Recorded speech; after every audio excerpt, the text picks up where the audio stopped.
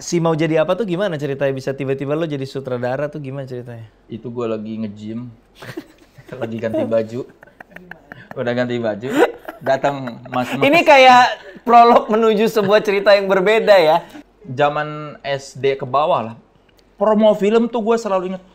Pakai mobil. Iya, pakai mobil. Ya. Saksikan nanti sore ada film ini disebar terus lebaran nanti Iya. kita ngejar-ngejar. Wah ini ada film gue inget banget. Si Gensi jangan nonton acara episode In Frame kali ini. Ini episode In Frame kali ini untuk usia 35 tahun ke atas ya.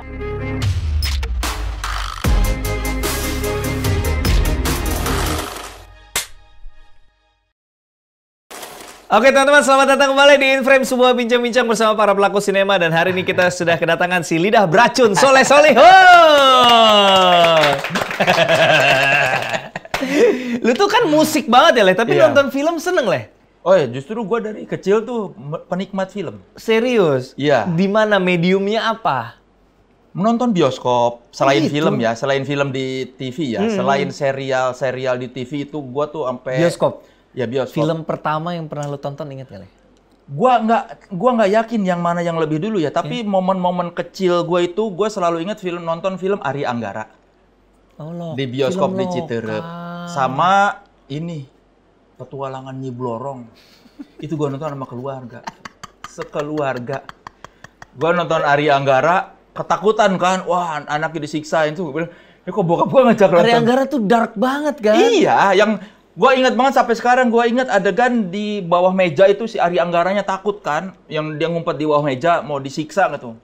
Itu gua ingat banget tuh nonton di bioskop di Citerep, gua lupa nama bioskopnya Umur lu apa. berapa waktu itu? Ya SD paling lah, itu pasti SD karena kan itu Orang tua zaman dulu tuh ngajak anak kecil nonton film tuh kagak mikir ya filmnya tuh kontennya apa ya gitu. zaman sekarang aja sama apalagi Ya zaman sih. dulu.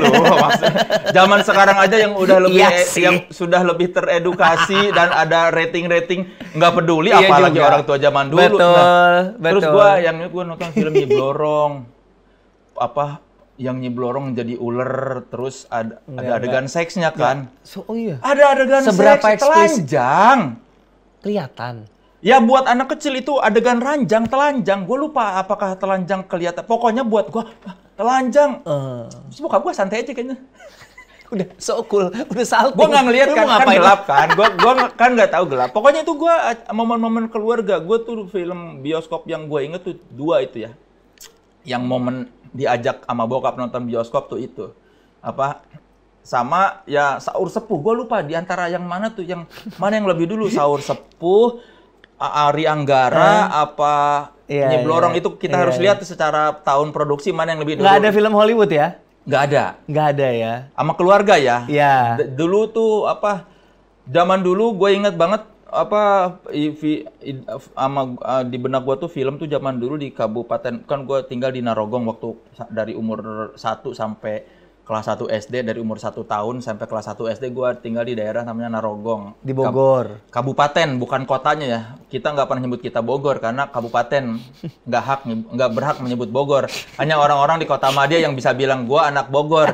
Kalau kabupaten Bogor tuh ya gue nyebutnya Narogong gitu, Iya. kecamatan Cilengsi dulu tuh zaman kecil zaman SD ke bawah lah promo film tuh gue selalu inget Pakai mobil. iya pakai mobil Ya.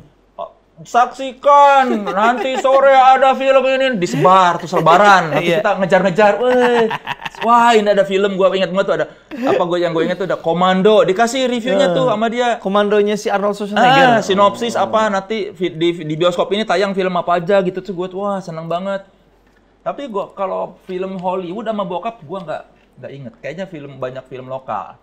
Film Hollywood tuh gue ingetnya nonton Batman kalau nggak salah. Batman-nya George Clooney. diajak sama sepupu gue yang udah gede. Pas lagi main ke rumah gue Eh, Batman-nya Michael Keaton ya? iya Michael Keaton itu diajak ke bioskop namanya bioskop Atom tuh kalau nggak salah Ah. yang waktu itu pernah mau didatengin Joko Anwar ternyata udah nggak layak pro, apa dipakai nonton Oh. tapi ya itu apa sinema tuh justru menurut gua ya salah satu hal yang menghiasi masa kecil gue selain lagu di radio ya. Hmm. Gua se- salah satu tontonan gue ketika kecil tuh apresiasi film Indonesia. Sih? Aku cinta, Anda cinta, buatan Indonesia. Yang openingnya lama banget kapan mulainya? Kenapa? Ngek, ngek, ngek, ngek, Kenapa tirainya harus dibuka Iya. sepelan itu ya? Aduh, gue ini. Kapan mulainya? Mana lagunya temponya lambat? Tirainya lebih lambat. Salah satu momen di acara itu yang selalu gue inget ketika dia ada behind the scene sahur sepuh. Oh. Nunjukin elangnya si Brahma Kumbara. Wah, dibangga-banggakan teknologi sinema kita sudah canggih. Sekarang elangnya dibikin, elang beneran, elang raksasa dibikin, dinaikin sama Brahma Kumbara. Cuma bisa gini-gini aja, gua ada anjir kayak gitu. Ah, ah, dikasih lihat tuh, elangnya cuma gini. Ah, ah, gitu. Kita juga terkesima ya. Wah, anjir keren banget. kan gua nonton, eh, kan gua pendengar pendengar sahur sepuh ya apa. Eh. Begitu di film kan dan nonton ada oh, anjir elangnya ada gua keren sekali gua. Luar biasa. Jadi ya itu kalau bioskop itu. Tapi tumbuh menjadi orang yang kayak secara eh, rutin maksudnya senang ke bioskop atau terhalang faktor ekonomi atau gimana? Terhalang faktor ekonomi kayaknya kalau ya nggak tahu sih gua Ketika remaja gitu. remaja ya rem, rem- SMP gua nggak inget nonton bioskop tapi gua gua tuh pen- penggemar film seri. Apa misalnya yang lu ingat? Wah, gua mah Dark Justice. Waduh, Dark Justice. Terus si Renegade. Renegade. Terus ada dulu film Sebelum itu dong, Airwolf. Airwolf. Knight Rider. Tenet Tenet Tenet itu Knight Rider. Terus gua tuh film Airwolf si Jean Mike Jean Michel Vincent. Vincent, betul. Dia kan bisa gini nih alisnya. gua waktu kecil anjir nih orang kok alisnya bisa ngangkat. Gini, Iya kan dia selalu gitu lu kan. nggak bisa. Gua latihan sampai sampai gua bisa. Sekarang gua bisa kanan kiri kanan kiri set set. Gua yang SD pas nonton Gue nggak si bisa, kiri gue nggak bisa. Gua bisa. Gue sebelah doang. Gue nggak bisa. Nggak itu gua latihan gara-gara nonton si Jean, Jean Michel Michel Vincent, Vincent. gitu anjir kok orangnya alisnya bisa Oke, gitu ini Gua kayaknya Gen Z. Gen Z jangan nonton acara episode In Frame kali ini. Ini episode In Frame kali ini untuk usia 35 tahun ke atas ya. Yang yang udah milenial milenial ujung lah inilah. Milenial bawah dan Gen Z mending jangan nonton lu nggak bakal ngerti referensinya. itu kan Airwolf terus ada Voyager Voyager. yang tentang time traveler yang hilang buku petunjuknya akhirnya si itu bukan si Quantum Leap, beda lagi. Bukan. Kalau si Voyager ini, jadi ada seorang time traveler di antara sekian banyak time traveler, dia bertugas membenahi sejarah yang salah. Dia datang ke satu tempat, ke satu era, nanti dia benerin. Oh, yang salah dari era ini apa nih? Harusnya begini nah. Si tokoh utama ini hilang bukunya kayak semacam ensiklopedianya. Tapi dia ngajak satu anak ini yang enggak gue lupa gimana ceritanya si anak ini jadi kebawa-bawa sama si orang ini. Dia ini pengetahuan umumnya bagus banget. Jadi pas dia datang ke sini, oh enggak ini harusnya begini-gini. Wah, gila keren banget premisnya. Iya nggak Voyager. Jadi Voyager. dia tuh pakai kayak semacam jam atau kompas gitu. Truk nanti dia lihat wah masih merah nih, nit nit nit nit. Ada yang salah nih dengan sejarah di era yang kita datengin ini. Nanti dia datang. Terus premisnya bagus banget ya. terus dia keliling-keliling terus misalnya ada ketemu tokoh apa kok ini begini harusnya nggak begini nanti si anak ini cerita nggak harusnya gini gini gini gini gini kalau Quantum Leap kan si ini kan yang apa dia nggak bisa pulang ke rumahnya Ya. terus selalu terjebak kan makanya selalu di eh, openingnya tuh gua selalu ingat dan berharap someday one of the Ya. apa, the leap home Iya. yang ternyata nggak pernah tuh leap home-nya tuh. Iya, iya, itu, iya, itu, itu itu kan belakangan kan Iya, Quantum iya dulu tuh selain Voyager tuh Growing Pains. Oh, growing. Sitcom berarti lu udah suka sitcom lah dari dulu. Gua Growing sitcom. Pains terus sih. Uh, itu kan apa apa yang keluarga itu? Oh, ini Brady Bunch. Brady Bunch. Brady Bunch.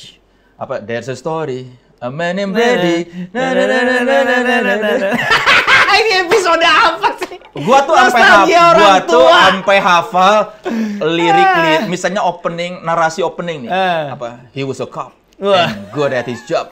But he committed the ultimate sin, testified against other cops. Cops gone bad, cops that tried to kill him, but got his woman killed instead. Oi. Now he's prowling the badland, Oi. an outlaw, hunting outlaw, a bounty hunter, a renegade. Wah, Wah. Hafal ya.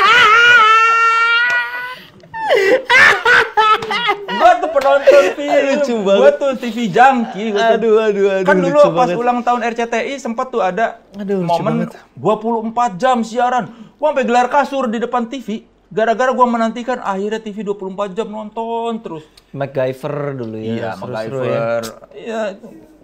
Gua tuh sampai ini ya, apa sampai pengen punya pisau lipat tuh gara-gara MacGyver. Pisau MacGyver. Bokap gue Iya. juga jadi punya pisau itu Swiss Army knife itu.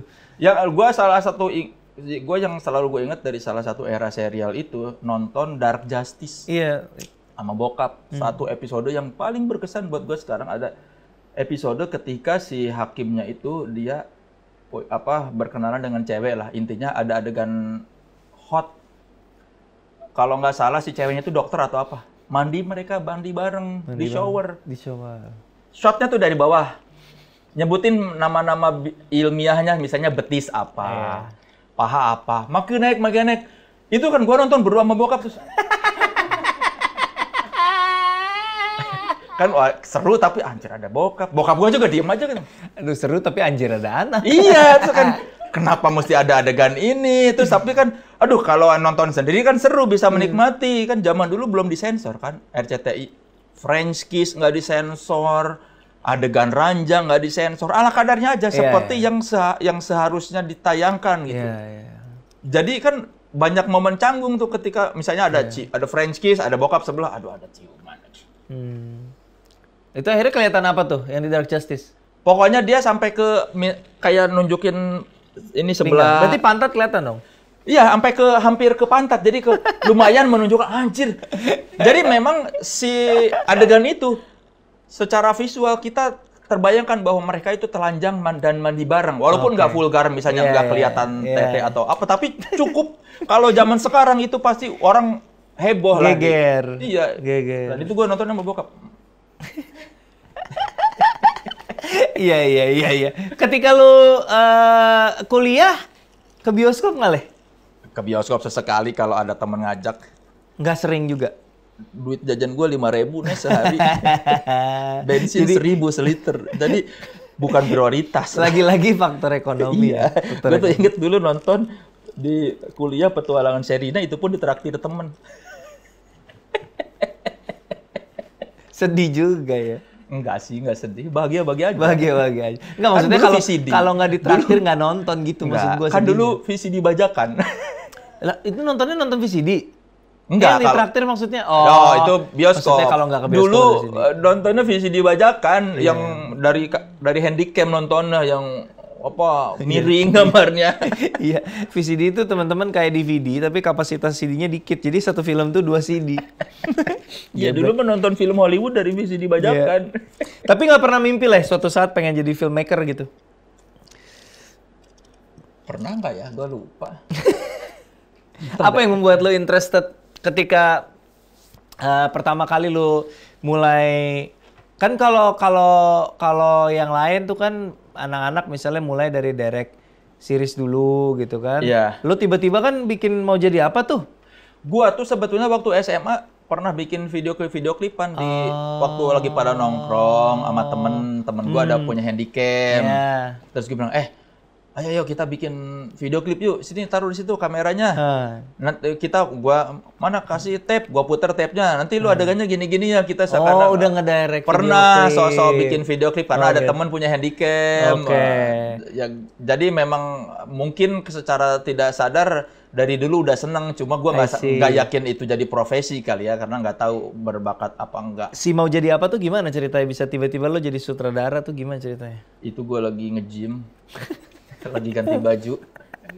Udah ganti baju, datang Mas Mas. Ini kayak prolog menuju sebuah cerita yang berbeda ya. Kayak lebih ke prolog ke Dark Justice yang tadi. Bener, gue lagi habis nge-gym, lagi pakai sepatu. Datanglah Mas Mas. Mas Soleh ya? "Oh, iya. Saya Gangsar Sukrisno. Terus saya dari ini apa saya apa Mizan. Terus dia bilang, "Saya dari kemarin-kemarin udah lama nyariin kamu nomor teleponnya nggak nem- apa saya selalu, saya pengen mengontak kamu eh malah ketemunya di sini nggak sengaja saya sama teman apa rekan-rekan kerja saya Pak Putut ini apa menurut dia kan dia, saya dan Pak Putut berpendapat bahwa ini salah satu dari sekian banyak stand up komedian yang layak diberi kesempatan itu kamu. Karena gua kayaknya mereka terkesan karena gua pernah kan gua dua kali ngeliput Laskar Pelangi ya.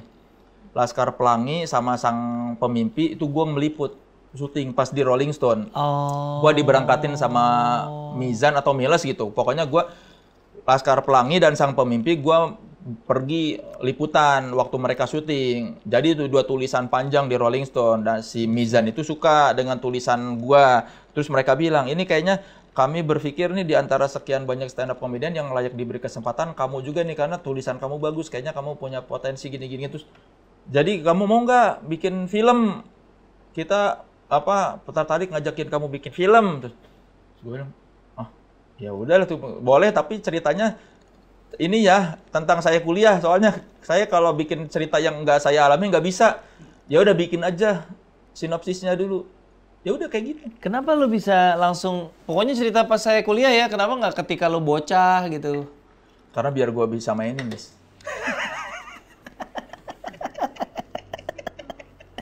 Iya nggak salah sih. Bener sih, bener sih. ya kan dia minta gua main Iya. dan mendirect jadi ya udah lah gue terus Lagian yang kebayang gua, gimana sih? Saya suka tulisan Anda. Mau nggak nulis skrip gitu baru ma- nyambung gitu. iya pokoknya intinya dia minta gua nulis skrip dan ma- ma- apa main film terus ngedirect Ya kalau ngedirect kan beda gitu. Intinya dia pengen ya standar kayak lu lah paket-paket mungkin di pikiran nih. Di pikiran stand up comedian pada berbakat semua ya. Gara-gara lu dan Radit. Hmm sepertinya semua bisa nih. Dengan paket lebih murah gua bisa dapat tiga, profesi sekaligus. Tiga profesi dalam satu harga. satu harga dapat tiga profesi. Lumayan. Ya, pasti mereka berpikir kayaknya bisa nih dikasih Oke. kesempatan. Oke, terus lu bikin sinopsis. Ya Eh, waktu itu judulnya awalnya apa? Macan Kampus ya? Macan Kampus. Macan Kampus. Terus eh, kan sinopsisnya? eh, dikasihlah sinopsis ke si Mas Kris sama Pak Putut dari Iya. Mizan. Terus mereka email Pak Parwes. Hmm. Pak, saya mau ngajakin si Soleh bikin film, ini sinopsisnya, tolong kasih pendapat dong. Oke, awalnya Pap- minta pendapat. Pak Parwes sama bilang, saya minta si Soleh nulis dari 2012. Nggak pernah mau. Lah ini kok malah nyampainya ke kalian gitu kata ya, kurang lebih Pak Parwes bilang gitu. Lah gue minta dia dari 2012 kok tiba-tiba gue dapet sinopsis dari lu gitu kan. Jadi kasarnya ya iya udah ampak apa Pak Parwes langsung mengiyakan karena kata Mas Kris gitu komentar pertama Pak Parwes gitu. Tunggu, Pak Parus minta lu nulis dari 2012 tuh nulis apa? Kabayan.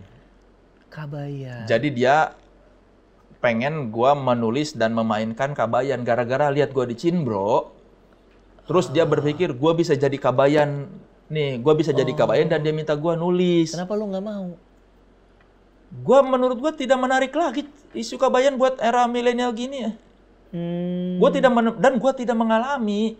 Maksudnya eh, itu tidak dekat dengan kehidupan. Jadi gua tuh karena basic gua jurnalis, mungkin gua tuh terbiasa menuliskan yang gua lihat dan gua alami. Kalau gua disuruh meng- menghayal, Eh. gua nggak bisa. Kalau gua disuruh mengkreat itu kan kayak berbohong ya. Gua dari Ah. dulu nggak bisa berbohong Iya, iya, iya. dan gua terbiasa melihat sesuatu terus gua sa- sampaikan dalam bentuk tulisan. Jadi gua biasa merep gua biasa reportase. Iya, iya, iya. iya. Jadi apa me- em, mem- membuat apa hal yang dari tidak ada jadi ada tuh bukan salah satu Oke.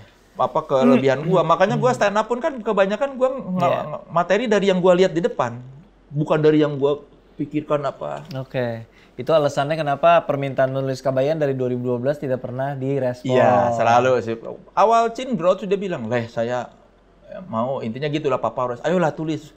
Kebayan lagi bilang, 2012 apakah orang masih ada yang Peduli sama Kabayan. Iya, orang Sunda pun kan sudah tidak relate dengan Kabayan. Secara Hmm. kultur pun tokoh Kabayan di Sunda-Sunda masa kini udah nggak relate menurut gue ya. Orang Hmm. udah lupa atau mak- maksudnya kan udah ya Kabayan siapa Iya, gitu. Jadi gue aduh gimana? Kan be- plus beban berat Kabayan Iya.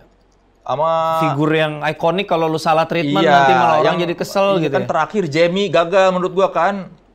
Jimmy yang Aditya. iya Jamie jadi Kabayan menurut gua gagal dan gua rasa Pak Pawres juga karena nggak nggak terlalu puas dengan hasil Jamie di Kabayan dia berharap nih ini ada Sunda asli nih bisa nih kayaknya nih si Soleh nih tapi gua kan itu bebannya berat dong Kabayan Iya, kan iya. tokoh legendaris Iya, terus iya. menurut gua yang berhasil memerankan Kabayan itu cuma dua orang kan Kang Ibing sama Didi Petet Kang Ibing sama Didi Petet. Mang Aom dulu pernah jadi kabayan nggak sih? Enggak ya? Enggak ya? Kang Ibing orang orang Sunda yang tahu Kabayan itu personifikasinya tuh yang berhasil tuh Kang Ibing yang kebayang di benak tuh Kang Ibing Iya, iya. Makanya dulu ketika Didi Petet muncul kan skeptis. Gua juga sebagai salah satu orang Sunda, ah kok Didi Petet? Didi Petet kan gemuk, keriting, kayak bukan kabayan. Hmm. Tapi ternyata di film berhasil secara cerita dia. Hmm. Jadi Jadi berat. Gua takut. takut. Tapi ketika ceritanya dikasih kesempatan buat ngulik apa yang lu mau, lu berani. Iya, terus kayaknya gua kan udah itu kan 2017, gua 2012 udah lumayan lah gua apa me- apa terlibat di produksi. Sebagai aktor. Iya, jadi minimal gua ada udah ada Bayangan. modal sedikit lah, jadi nggak nggak nggak blank-blank amat. Iya. 2012 gua suruh nulis kan berat ya, gua nggak iya. ngerti dunianya. Iya, iya, iya. iya. Terus akhirnya nulis, eh, jadi akhirnya Mizan join sama Star Vision. Kan Iya. awalnya cuma dimintai pendapat, kok Iya. jadi ikutan Terus si produksinya? Pak Arwes bilang, udahlah saya ikutan aja di sini ya. Oke. Ya gara-gara itu, saya minta dari dua- dua- 2012, kok malah nyampainya ke kalian. Iya, dia feeling sama lu gitu. Lu ngedirect pertama, waktu itu ada Monty Tiwa ya? Ya, Gimana berbagi perannya tuh? Gua kan nggak ngerti teknis. Hmm. Jadi gua bilang sama Montimon, gua cuma tahu yang pengen gua sampaikan. Hmm. Teknisnya coba lu yang membahasakan misalnya. Maksudnya kan gua ngerti, ini kan karena ini cerita tentang gua, jadi kan gua tahu Iya. karakter si ini gini gini gini, Iya. apa yang pengen gua sampaikan gini gini gini. Nah, si Monty yang ininya membahasakannya. Oh, oke kalau mau lu gitu, berarti nanti treatmentnya begini kayak gitu. Waktu itu kayak gitu. Berarti pergerakan kamera segala Iya, itu lebih dari kayak Monty. directingnya gimana itu Monty. Tapi kan gua bilang ke Monty, Mon ini film ini gini gini gini gini. Hmm. Jadi gua ngasih tahu apa yang mau gua sampaikan di sini tuh seperti apa, gayanya gimana. Hmm. Nah, Monty yang membahasakannya secara teknis. Enjoy nggak ketika jalan pengerjaannya? Iya iyalah, Enjoy. iya. Makanya mau lagi reuni Z. Iya, Reuni Z itu buru-buru. itu menurut gua salah satu proyek yang menurut gua terburu-buru karena gua pun pas diminta, gua lagi mau jadi apa sih Pak Sunil? Ayo leh, ayo leh. Pak ini gua belum selesai udah ditagih-tagih kan. Kenapa sih lu bisa mengiyakan project reuni Z? Nggak enak. Pak Sunilnya WhatsApp mulu loh. Dia nanya-nanya mulu gua bilang. Nerima bilang, job "Maka- film karena passion bukan, karena honor bukan, karena nggak enak. Eh, lu harus coba menghadapi Pak Sunil. Nanya-nanya terus Pak itu. Sunil baik banget. Baik, saking Baik baiknya jadi nggak enak loh. Dua orang produser yang menurut gua baik banget dan kadang-kadang kita jadi nggak enak tuh Pak Sunil sama Pak Parwes. Iya. Saking baiknya mereka berdua kita sungkan buat nolak. Itu, Itu kan- mereka jadikan senjata buat iya, kan dua-duanya terkenal ya pintar menego harga. Iya. Yang satu kan dibantu ah. Itu Jadi- jadi jadi gua lagi bikin lagi persiapan mau jadi apa? Pak Sunil ngajak meeting. Ya udahlah Pak, gue bilang gua mau gua mau syuting nih, tapi udah meeting ketemu aja dulu, ketemu dulu. Hmm. Maksa-maksa ya udah ketemu gua ajak si Aga Ogi temen gua Iya. yang nulis skrip ba- bareng Iya. di mau jadi apa. Lalu kan ada prem apa sinopsis banyak. Ya udah lu yang presentasi aja lah. Nah. Gua tuh cuma mem- mem- membawa mereka si Aga Ogi. Pak nih ada teman saya Aga Ogi, mereka Aga Ogi punya itu adalah sebutin temen- nama lengkapnya dong. Aga Syah Karim dan Khalid Kasogi. Oke. Aga Syah Karim ini teman baik gua dari kampus. Iya. Kami berteman dari 97. Memang dia penulis skenario Iya. yang sudah established sebelum Iya. gua. Nah, pas gua diajak meeting, gua akhirnya, "Gi, lu punya ini enggak apa enggak punya sinopsis enggak? Ada beberapa nih. Ya udah yuk ikut meeting sama gua. Iya. Gua kenalin lah Aga Ogi ke Pak Sunil. Pak, nih ada teman saya. Silakan mereka presentasi. Bapak suka yang mana? Nah, Presentasi berapa ide mereka? lima. Lima. Lima sinopsis. Pak Sunil milih. Saya suka yang ini ya, yang zombie. Ya udahlah Pak.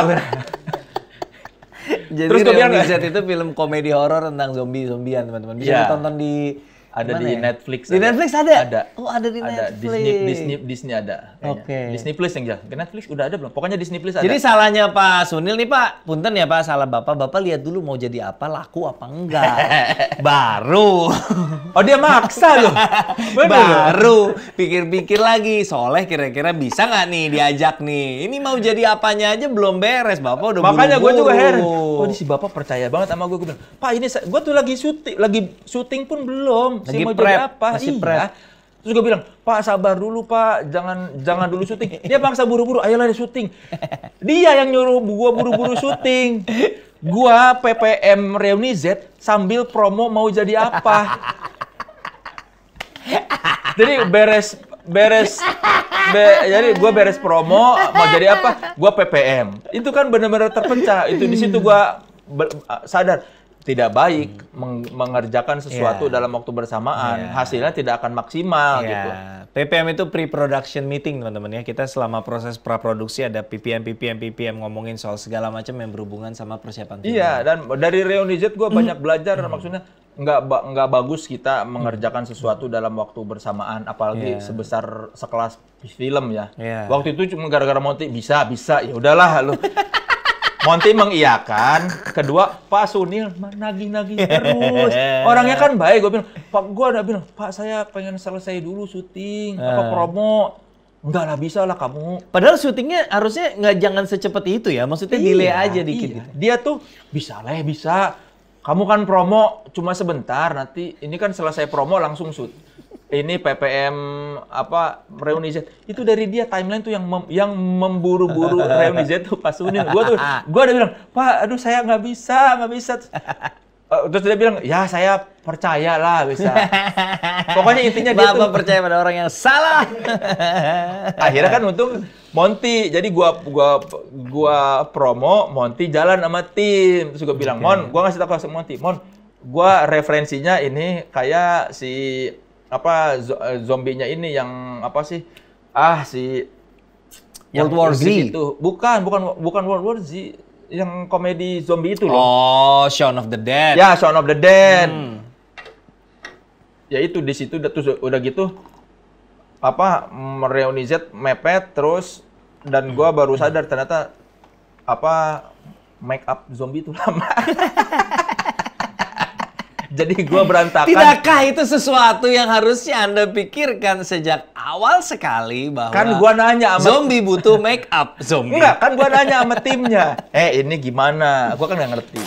Setiap adegan banyak zombinya. Ada zombie 50 zombie rata-rata. Satu zombie bisa di make up 2 jam. Udah gitu gue syuting di sekolah. Iya. yang harus nunggu sekolah pulang dulu